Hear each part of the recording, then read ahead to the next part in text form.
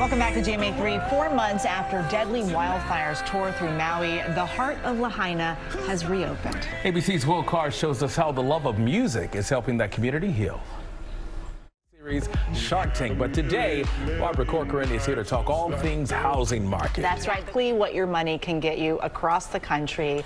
We are so grateful to have you Always. here with us. We're curious, what are you seeing right now in the housing market? It's not an easy market, but an improving market. You've got a few houses for us to look at. Yes. Let's start in Texas. Five, it's yours. Um, let's go to South Carolina, my home state. Tell All right, us let's talk New York City. We know real estate here is extremely expensive. family in South Carolina how big of a deal a wash machine is in the Yes. city. It's a big deal in this area. Yeah, very much so. Um, let's go to California. Yeah, watch this woman right here. All right, Barbara, thank you very much. We appreciate it. And if you want more tips and exclusive entrepreneurial content, check out Barbara. Thank you very much. All right, up next, we'll get to hear from jazz great Gregory Porter. The Grammy. It's that time. Welcome back to GMA3. We are rounding out the hour with a very special holiday performance. It comes to you from a two-time Grammy award-winning jazz great. Oh, we're so lucky and excited about this one.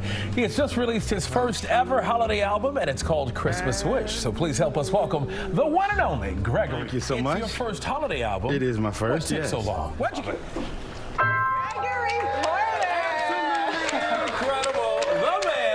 man, Gregory, thank you very much. That was amazing Thank there. you so much. Thank you. that was awesome. All right, folks, for this Monday, we love having you here. I'm DeMarco Morgan. I'm Eva Pilgrim. And I'm Dr. Darien. For all of us here at GMA3 and ABC News, make it a great one.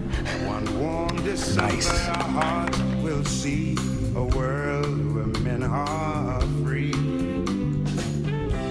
Someday at Christmas, there will be no war.